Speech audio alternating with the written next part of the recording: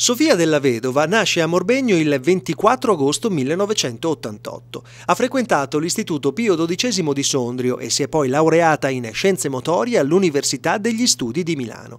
Sportiva fin da piccola, Sofia ha praticato diverse discipline, tra cui il wushu, lo sci e ogni tanto una bella nuotata in piscina. Purtroppo nel 2017 incorre in un grave incidente, ma questo non la ferma e decide di tornare sul campo sportivo più forte di prima.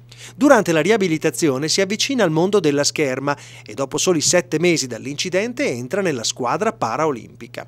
Nel maggio 2018 vince la medaglia di bronzo ai campionati italiani, facendo guadagnare alla squadra bergamasca il settimo posto. Una delle sue passioni è il film Kung Fu Panda e adora sfrecciare con una splendida BMW rosso fuoco. Ama passare il suo tempo libero in diversi luoghi, come la montagna e il mare. Le piace molto cambiare stile, soprattutto dei capelli.